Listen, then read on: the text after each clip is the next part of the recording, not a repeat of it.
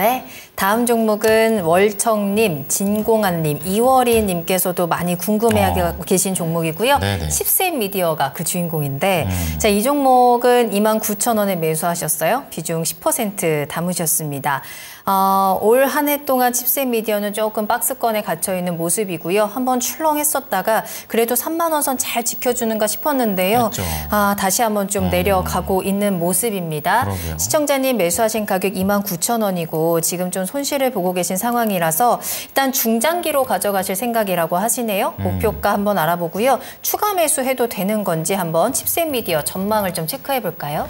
네, 오늘 안 그래도 뭐 텔레칩스가 시간에서 뭐 상한가를 갔거든요. 뭐 텔레칩스, 뭐 칩스앤미디어 이런 종목들 다 뭐 자동차 어, 차량용 반도체 쪽 아니겠습니까? 근데 보니까 이슈가 뭐냐면 삼성전자가 글로벌 자동차 전장업체 독일사죠 컨티넨탈 전장 사업 부분 인수 검토 중이다 이 기사가 어, 시간에 나왔습니다. 그래서 이것 때문에 지금 상당히 강세인데 삼성이 이제 2017년 하만을 인수했는데 그 7년 만에 대형 인수합병 M&A 지금 기사가 나온 겁니다. 그래서 이슈적으로는 뭐 저는 상당히 강하다고 봅니다. 텔레칩스 같은 경우에 내일 뭐 당연히 10% 이상 15% 20% 정도 뜰 것 같은데 관련주 뭐 칩셋 미디어 칩셋 미디어도 같이 가겠죠. 예, 그래서 어 지금 평단까지는 내일 우선은 좀 오지 않을까 좀 하거든요. 근데 이제 문제는 아시다시피 제가 지금 어이 이 반도체 섹터가 지금 미장에서 미국장에서 이제 엔비디아가 주도를 좀 하는 그런 모습인데 어 FMC 관련해서 지금 그러니까 내일 어, 오늘 지나고 내일 아마 새벽일 겁니다. 저희 한국 시간으로. 그래서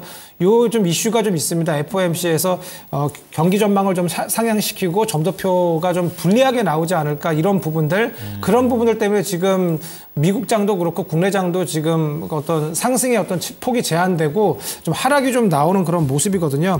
근데 그런 부분을 좀 감안했을 때 조금 보수적으로 우선은 좀 보시고요. 예, 그 다음에 어, 지금 차트적으로 보시면 그래서 아까 2만 2만 9천 원이라고 말씀드렸지 않습니까? 그래서 내일 정도 우선은 반등을 하면은 우선은 좀 매도를 해주시는 전략 어떨까 합니다. 그리고 이제 지수가 좀 어, 반도체 섹터가 다시 그러니까 저는 어, 이번 4월부터 이제 실적 시즌이거든요. 그러니까 실적 시즌에 반도체가 가려면 저는 도리어 그러니까 이번에 좀 조정이 좀 나와야 된다고 저는 봐요. 그래서 이번엔 저는 반도체 섹터가 이런 지금 차량용 반도체나 팹리스 반도체들 다 포함해서 오히려 조정이 저는 건전한 조정을 한번 이제 줘야 된다고 생각을 하거든요. 그간 좀 많이 올라왔으니까. 그래서 이런 부분들을 감안했을 때 차트적으로도 우선 지금 갭이 좀 위에 있어요. 그래서 요 정도 29,300원 정도인데 평단은 내일 아마 올 것 같습니다. 그래서 오신다면 우선은 뭐 평단 이상에서 우선은 매도를 좀 하시고요.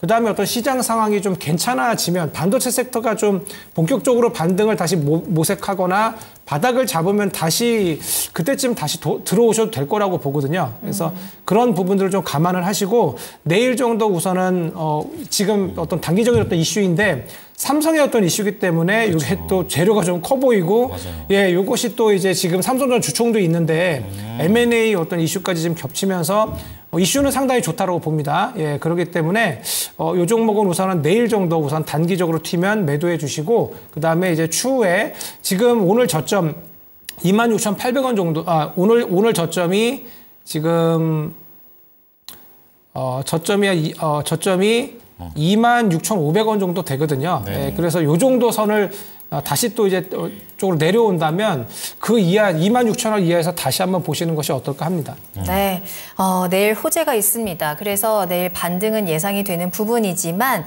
여러 가지 경계감에 따른 좀 벽이 있을 수 있기 때문에 안전하게 손실 없이 일단 빠져나오는 게 먼저일 것 같고요. 따라서 내일 반등 시 매도하시고 다시 한번 접근 기회를 찾아보도록 하겠습니다. 네.